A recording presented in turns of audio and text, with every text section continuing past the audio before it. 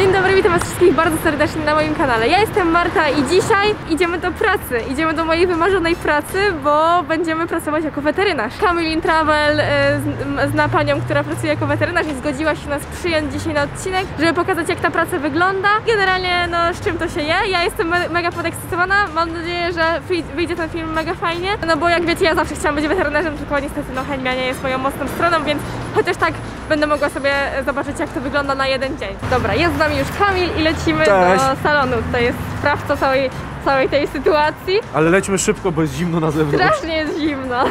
Co wy chcecie zobaczyć? y, Wszystko. Wszystko. Najlepiej wszystko. Ja bym chciała e, zobaczyć jak wygląda taka praca weterynarza, bo w ogóle e, moją wymarzoną pracą to jest bycie weterynarzem, ale niestety no, na maturce mi nie poszło z chemii Aha, i no tak. musiałam zrezygnować, ale ja od zawsze właśnie się interesuję zwierzętami i strasznie mnie ciekawi jak wygląda taka praca, takie przyjmowanie klientów, Mhm, e, jakie były takie nie wiem, najgorsze przypadki, jakie Pani miała, e, jakie, z jakimi problemami zazwyczaj ludzie przychodzą. Generalnie no takie rzeczy. E, Ja mam mały gabinet, więc jestem jakby taką podstawową weterynaryjną opieką. E, Przychodzą ludzie z podstawowymi, no z każdymi problemami. Zwierzęta chorują na wszystko. Dokładnie tak samo e, jak ludzie. Oczywiście profilaktyka, czyli szczepienia, odrobaczania. O tym się coraz lepiej i więcej pamiętam. Bo jeszcze jak zaczynałam 16 lat temu pracę, to ciężko było ludzi namówić na takie rzeczy. Dzięki temu świadomość właścicieli e, bardzo rośnie i to są plusy i minusy, bo z jednej strony dużo więcej wiedzą, a z drugiej strony wymagają, więc my się też musimy cały czas uczyć i dokształcać. Najcięższe przypadki. Hmm. To było tak kilka lat temu, miałam parę zabiegów takich, gdzie e, 16-letnia jamniczka miała niedosyć nowotwór e, sutków. Państwu to nie przeszkadzało, że cała listwa była w guzach. E, miała ropomacicze, czyli zapalenie ropne macicy i jeszcze wypadnięcie pochwy. O Wszystko naraz i wyobraźcie sobie, że nie dosyć, że ją przecięłam tak, żeby usunąć e, macicę, żeby w, zabezpieczyć, usunąć tego guza, bo to jeszcze była wypadnięta pochwa i, i guz. Usunęłam e, całą listwę mleczną, myśląc, że ten, ten zwierz na pewno tego nie przeżyje. Wyobraźcie, że przeżyła i żyła jeszcze dwa lata. Potem był pan z rzekotką. Co to jest rzekotka? Rzekotka to jest taki rodzaj płaza, taka żabka ozdobna. No właśnie chciałam się zapytać, czy Australijska. z gadami, z jakimiś jaszczurkami Tak, do Pani od jakiegoś czasu musiałam się nauczyć, bo miałam własnego żuga. I z, pan z rzekotką przyszedł bardzo poranioną na łapie. I ja mówię, no co ona sobie mogła zrobić w takim terrarium, które jest zabezpieczone? On mówi, że nie wie. I doszliśmy do tego, że on wrzucał e, tej rzekotce 20 świerszczy i w ogóle się nie interesował. A świerszcze takie te bananowe są bardzo agresywne. Po prostu pogryzły tą rzekotkę. Ja pierniczę, no to. No, i- ale ona niestety nie przeżyła, bo e, płazy chłoną leki całą, so, całym sobą i tam nawet jak się miejscowo odkażało, nie można było użyć alkoholu, a on oczywiście to zrobił pierwsze, to zro- po, polał tą łapę oktanisetem. No więc e, no, to są takie zależności, o których e, trzeba pamiętać, to są takie najciekawsze, bo najczęściej są psy i koty. To jest żółw hełmogłowy. Od 6 lat nie cierpi podgrzewanej wody, za każdym razem e, bardzo mi się nie podobała ciepła woda. E, I nie chce wychodzić w ogóle na tamtą wyspę, którą ma. Siedzi w zimnej wodzie i taki jest zadowolony. I, i je Ma karmę. nos w ogóle. Jak świnka wygląda, nie? Ja mam też pytanie, bo powiedziała Pani o tych dużych zwierzętach i na przykład jak była Pani na studiach, to miała Pani praktyki z, e, z dużymi zwierzętami. Tak. Właśnie się zawsze zastanawiałam, bo moja mama zawsze jak... E, moja mama nie była za tym, żebym ja szła na weterynarza te, i zawsze próbowała mnie jakby tak odstraszyć, to jest śmieszne, że będę musiała wsadzać rękę krowie. Tak? A to Tak. powiem Pani, że to było jedno, jedno z najbardziej przyjemnych uczuć dla tych zwierząt. To jest piesek, który ma niedoczynność tarczycy. Tak samo jak u ludzi jest taka choroba. E, wy- Jest związana u niej akurat po prostu z wiekiem. Byłam ostatnio z krokietem pierwszy raz u weterynarza, to się tak rzucał. Kot? Kot, no. No słuchajcie, koty trzeba... Ja jestem sobie... Mój kot też się rzuca. Koty, tak, co ale kot- z kotami trzeba umieć, e, kot, nad kotami trzeba umieć zapanować. Ja na przykład lubię bardzo koty. Ja I też. mam paru takich pacjentów, którzy, tylko nie, po prostu zwierzęta tak jak dzieci, tolerują konkretnych lekarzy, tak? I miałam tu takiego kota, już też niestety świętej pamięci. E, Panie przyszły, postawiły go, on wyszedł i zaczął mruczeć. I one zdębiały, ja nie wiedziałam o co chodzi. Ona mówi, pani doktor, on panią polubił. Ja mówię, no ale o co chodzi? I w paru lecznicach jest napisane, że jest groźny. I słuchajcie, do końca rzeczywiście tolerował tylko mnie. Tak. No i koniec, po krwi. Musimy kuć wyżej. Matko, myślałam, że to już koniec. No nie, Nie, to słuchajcie, to musimy 2 ml utoczyć. Nigdy nie widziałam, jak się krew pobiera zwierzętom, bo ja często jak przychodziłam na przykład, bo ja dużo miałam kot takich e, znajd, więc ja tam bywałam u weterynarza, to było moje, wie, wiecie, Na co dzień? na co dzień byłam, bywałam u weterynarza. Jak tak e, przychodziłam co kilka dni do tego weterynarza, to dużo rzeczy widziałam tam, ale bardziej takich pierdółek w stylu, jakieś kroplówki to było najwięcej co widziałam. Raz też widziałam, jak był jakiś zabieg i były drzwi uchylone i pan operował psa i tam widziałam, że krew trysnęła. To jest lepsza żyła. To, to, to tyle widziałam z takich rzeczy, ale pobierania krwi jeszcze nigdy. Okej, ja trzymam, już możemy puścić. Dziękuję bardzo. Widzisz, jaki jesteś grzeczny piesek? Jak pani Jak Ci się podobała pierwsza ta wizyta? Mi się podobało, ja lubię patrzeć na takie rzeczy. W sensie źle to brzmi, że ja lubię patrzeć na takie rzeczy, ale bardziej chodzi o to, że na przykład brzydziłabym się, bałabym się zrobić coś takiego człowiekowi. Ja sama mdleję, jak mam pobieraną krew i muszę zawsze leżeć, bo dosłownie mdleję, jak widzę krew, ale ze zwierząt mnie to nie rusza. Mam coś takiego, że po prostu wiem, że to tym zwierzakom pomaga i chyba jestem taka bardziej czuła na zwierzęta niż na ludzi. Byłabyś w stanie pobrać krew pieskowi? Myślę, że tak.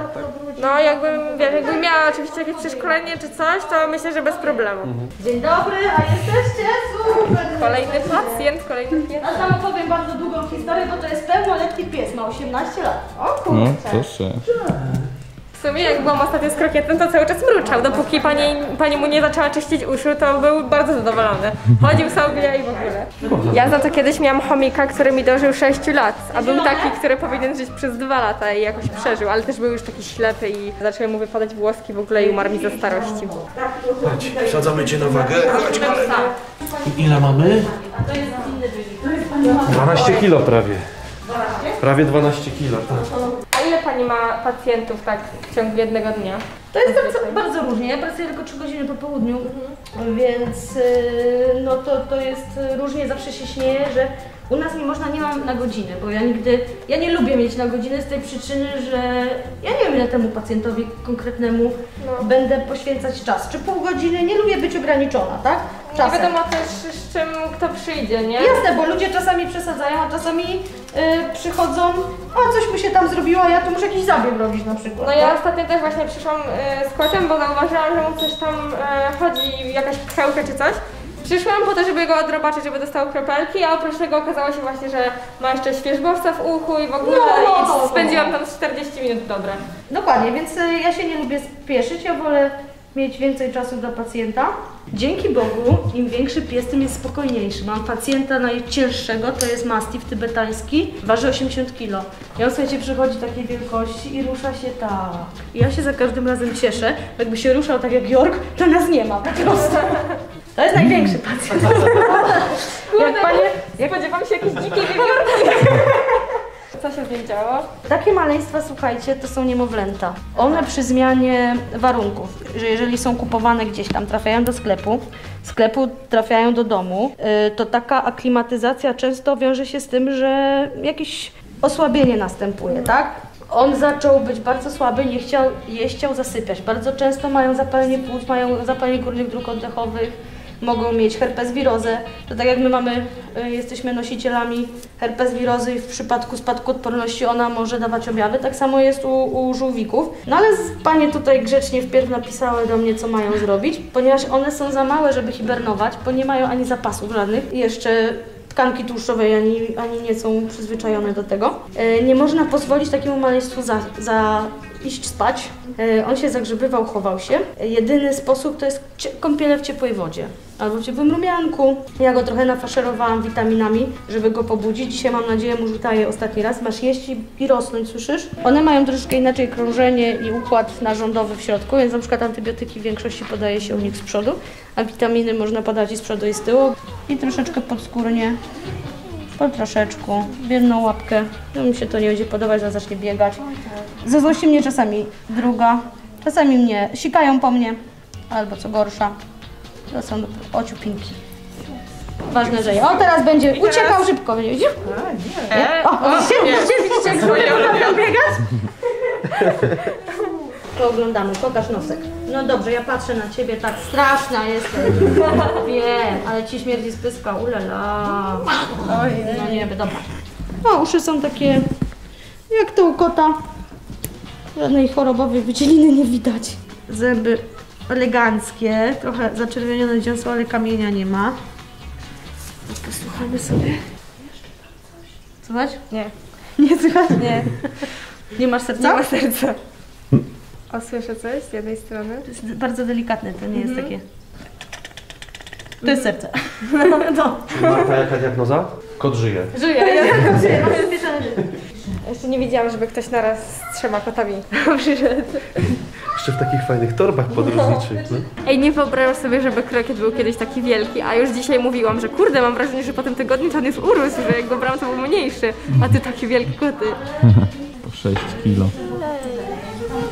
Ostatnio uciekł. Kolejny tylko ten już ma takie większe rozmiary.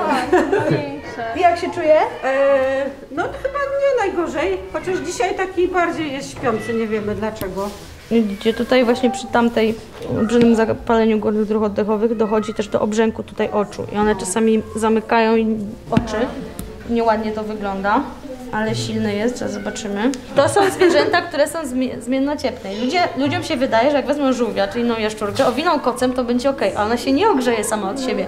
Więc musi być jakieś źródło ciepła, więc to jest bardzo prawidłowe, słuchajcie, źródło ciepła jest ok. Kiedyś jak właśnie miałam kota, znalazłam kota na działce takiego, kie- takiego strasznie schorowany, miał nie wiem, dwa tygodnie, to właśnie też weterynarz mi powiedział, żebym nalała do butelki ciepłej wody, owinęła ją czymś takim jakby termoforek zrobiła, żeby ten kot się, I się grzał. tulił, się grzał. Tak, no, tak. No, no. A tu wersja świąteczna z Mikołajem. Tak.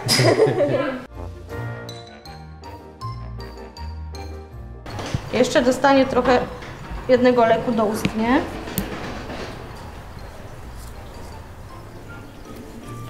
Też dostaniesz fungu. To teraz będzie challenge, jak się podaje żółwiom leki do ust. A propos podawania e, lekom, leków zwierząt, zwierzętom, to mój kot zawsze też sobie wypracował taką technikę, że jak mu dawałam do, do karmy jakąś tabletkę, zjadał wszystko, wylizywał, tylko nie tą tabletkę, więc Tylko teraz już muszę po prostu do ust nie mu dawać. I, jakby 100% coś- kotów tak robi. No. U gadów, w leczeniu gadów podstawa to cierpliwość, bo one walczą i tak nie bardzo chcą tutaj współpracować, a ja muszę lekko podważyć pyszczek, żeby otworzyć, żeby podać do ustnie lekarstwo. E, więc muszę delikatnie czekać, aż łaskawie zrobi am. Co trwa bardzo różnie. Oczywiście no, wygląda to tak, jak, że ucieka, ale nie ma innej możliwości. No widzicie, teraz ja muszę zrobić, o, super! I muszę być szybsza niż światło. Teraz połykamy.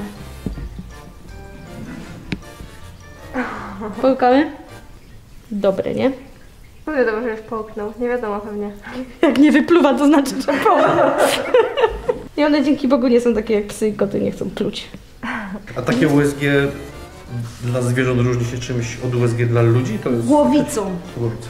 I co to jest kotek? No piesek? zgadujcie, to jest Ym, piesek. Piesek. Okej. To jest nerka. Aha. I co to jest? To jest zakrzep w tętnicy. Popatrzcie, jak przepływa krew. Czarny płyn to jest krew ogólnie rzecz biorąc. A tutaj jest taki biały farfocel, no nie? No widzę.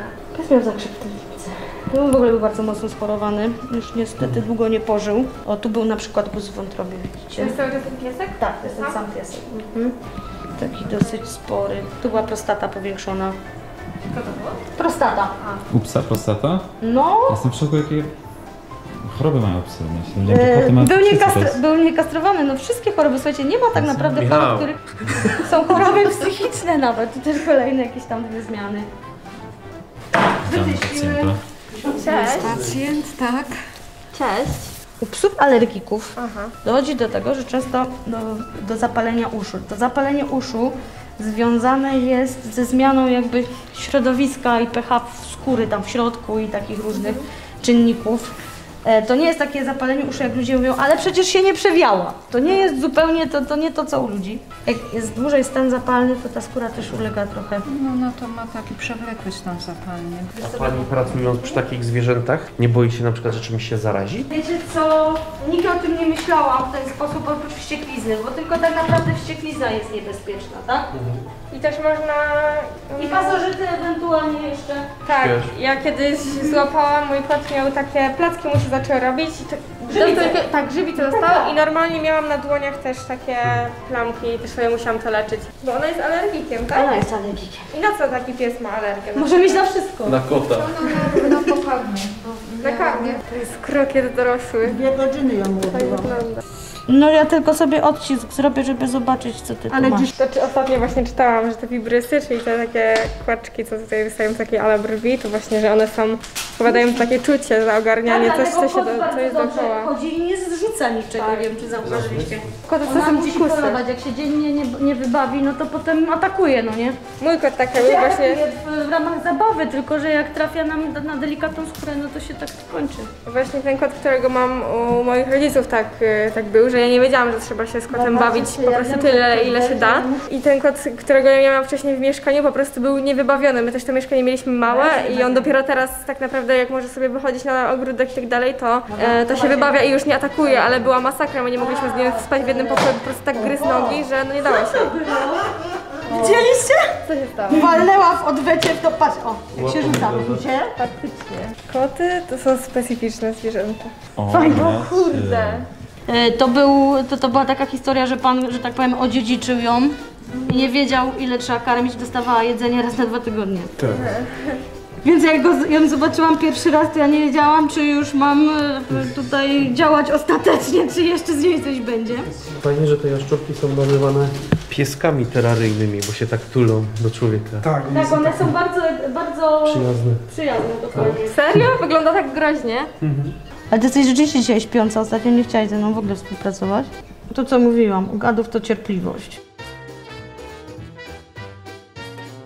Ja ostatnio myślałam sobie, że te gekony są w sumie fajnymi zwierzakami i one są takie słodkie gekony, nie? Wyglądają jakby się cały czas uśmiechały, ale nie mogłabym mieć, bo trzeba karmić tymi robalami. No ale są też gekony, które na przykład jedzą tylko e, owoce. Tak? A też są takie fajne, uśmiechnięte. Są takie? O, nie, no ja na razie mam świnki, mam kota, wystarczy. No widać te oczy. No, widać, pantera. Zapraszam? O Jezus, jaki groźny, duży kot. Ale ma niesamowite oczy. Niesamowite ma. Ładnie wygląda, ślicznie. Krokiet? To krokiet przy nim to myślę, że mógł nie, mógłby nie mieć szans, tak tro, troszeczkę. Ostatni raz patrzyłam przez mikroskop w podstawówce. Na przyrodzie. Zawsze zaczyna się, mogę Wam powiedzieć, zawsze zaczyna oglądać się pod największym, czyli najmniejszym powiększeniem, tam jest 40 razy, po to, żeby zobaczyć e, ogólnie, jaki jest obraz, co jest w tych komórkach. Po co się, wam jeszcze skończy, po co się robi taki, mm, taką, to jest tak zwana cytologia. Po prostu w zależności od tego, jaki to ma, e, jaka ta zmiana ma charakter, czy zapalny, czy jałowy, czy alergiczny, to tam są różne komórki, tak? Nam daje to prognostycznie, żeby, ja i tak wiem, co jest u tego kota, bo y, notorycznie, ale kwestia taka, że zawsze też trzeba wiedzieć, czy to się jakoś nie zmienia, czy nagle się nie nadkaziło jakimiś bakteriami, czy się nie pojawiły inne rzeczy. To tak samo jak bardzo dużo e, robiąc takie rozmazy krwi e, i, farb, i, mm, i barwiąc je, ja sobie tutaj sprawiam, sprawdzam, e, co widzę. Dopiero potem też oddaję krew do laboratorium, żeby maszyny sprawdziły, ile jest białych komórek krwi, ile jest czerwonych komórek, co tam się dzieje. A, pokażę Wam wyniki krwi, to na przykład jakieś ciekawe mam. Mamy morfologię, tak? Czyli to są krwinki e, białe, czerwone, poziom neutrofile, ozynofile, to są takie, które na przykład odpowiadają, jak pies jest bardzo zarobaczony, to ma po, podwyższoną ilość tych krwinek. Tutaj mamy parametry, które mm, te pierwsze trzy, jeżeli są powyżej normy, to znaczy, że coś się, tak zwane próby wątrobowe, tak właśnie, zabrakło mi słów. E, mocznik kreatynina mówi nam o nerkach, o stanie nerek. Lipaza taka specyficzna mówi nam o trzustce, tutaj jest lekko podwyższona. Więc y, mamy o tyle łatwiej, że już y, możemy się wesprzeć takimi badaniami. No, ale ogólnie rzecz biorąc trzeba być w tym zawodzie dosyć twardym. Nie można być za miętkim nie wolno być. Nie można tylko lubić zwierzątek, No bo to tak. nie daje. Tutaj przytrzymać takie różne rzeczy A są. miała Pani taką sytuację na przykład, że e, leczyła Pani jakieś zwierzę i się nie udało i na przykład właściciel miał Pretensje? no. Ja dzięki Bogu nie miałam takich przypadków, że ewidentnie była to na przykład moja wina, tak? Albo miałam to, że jakiś błąd. No dzięki Bogu udawało mi się. E, Staram się w momencie, kiedy wiem, że może być różnie, wspierać się jeszcze kolegami, czyli wysyłać na jakąś konsultację do kogoś, tak? Tego niektórzy moi koledzy, jak słyszą, że jest pies ode mnie, to mówią, Boże, bo wiedzą, że to nie będzie prosta sprawa. E, nie, nie, nie miałam takiego momentu, ale tak jak mówię, dlatego, że jestem małym gabinetem, a nie dużą kliniką, nie mam takiej przy, takiego napływu ciężkich przypadków, tak? Bo rzeczywiście w tych dużych klinikach, dużych przychodniach, e, gdzie ludzie wiedzą, że jest duży zespół, dużo sprzętu, jadą z takimi cięższymi problemami. Raz miałam tylko, pacjent mi zszedł na stole, czyli po operacji właściwie. To też była ciekawa sytuacja. Starsza suka w wieku 13 lat. Jak to pani przyszła do mnie i powiedziała mi, Pani Martyno, 13 lat nie chciała psa dopuścić, a teraz się puściła. E, no i słuchaj, Słuchajcie, rzeczywiście, były dwa szczeniaki. Ona rodziła dwa dni, ale gdzieś tam w lecznicy yy, innej powiedzieli jej, mnie nie było, ja byłam gdzieś na wakacjach, powiedzieli jej, że pies może tyle rodzić, nic się nie dzieje. Ja przyjechałam ona do mnie przychodzi, ja patrzę z tego psa, już płyną takie wody, ale takie zielone. Ja mówię, uuu, nie jest dobrze. Więc od razu na stół, e, robiliśmy to z koleżanką. Ponieważ już z wywiadu wiedziałam, że ona dwa dni rodzi, to może być ciężko, jeszcze starszy pies. E, przede wszystkim walczyłam o nią. E, usunęłam całą macicę, bo tam już te, te, było takie lekko powiedzmy popsute, mówiąc kolokwialnie. I e, moja pracownica zajęła się, ja zobaczymy co ze szczeniakami. No ale myślałyśmy, że nic nimi nie będzie. I słuchajcie, jedno nagle zaczęło się ruszać, więc ja mówię tak, ja ratowałam, sukę kończyłam, ona szybko tego szczeniaczka. Szczeniaczek przeżył, e, państwo go sobie zostawili, ale za jakieś kolejnych, nie wiem, dwa lata pies miał potworne zmiany na ogonie. Na zdjęciu rentgenowskim było widać, że tam jest ten, ten stary, że tam są zmiany nowotworowe, te kości były po prostu, właściwie już ich nie było, tak? Postanowiliśmy, ten ogon był, y, tam nie było jak gdyby w ogóle stabilizacji i on jej się złamał. Ogon jest bardzo ukrwionym narządem, znaczy częścią ciała, narząd, nie narządem, tylko częścią ciała. I Państwo do mnie tutaj przyszli mm, z krwawiącym psem, które tam są takie dosyć duże naczynia. Ja mówię, no dobra, no to spróbujemy to w takim razie mm, jakoś zabezpieczyć. Ja ją wzięłam na stół, usunęłam tą martwą kość, ten taki, w tym miejscu, gdzie ona była całkowicie już tak gdyby przez ten nowotwór przeżarta. E, zabezpieczyłam, zaszyłam, było wszystko w porządku, ona się wybudziła i ona się ładnie wybudziła, wszystko było w porządku, przywitała Państwa, e, po czym niestety zeszła i już e, reanimacja się nie uda, ale to był bardzo stary pies. No i Państwo tak, no na początku mówi, a mogli, może mogliśmy tego nie robić. Ja mówię, no słuchajcie, ona by się i tak wykrwawiła, więc pomimo kroplówek jakiegoś tam, no to była szyb, szybka akcja. No dobra, to sobie zobaczyć, co to jest kawałek. Kurde, rzęsy mi przeszkadzają. No dlatego nie mam sztucznych rzęs. Ale kurde, naprawdę mi przeszkadzają. No to jak ja mam pokazać, jak rzęs nie Dobra, widzę jakąś kreskę. No, taka ładna kreska to jest. To jest sierść? Tak, brawo, to jest głos. Nie. Lol. Ale tak mi przeszkadzają, że szok. Może to twoje było. No właśnie, przez chwilę sobie pomyślałam, nie, to niemożliwe, że to tam była Padła twoja rzęsa. Y, o, teraz takie dwa punkty, jeden, jeden u góry, drugi na dole, to są czerwone krwinki. O, dobra, widzę. Wow, Widać? no, Czerwone krwinki. widzę. I moje rzęsy. Dobra, no więc tak wyglądał dzień z życia weterynarza. Mam nadzieję, że czegoś się dowiedzieliście, że dowiedzieliście się jak wygląda ta praca, jakichś ciekawostek.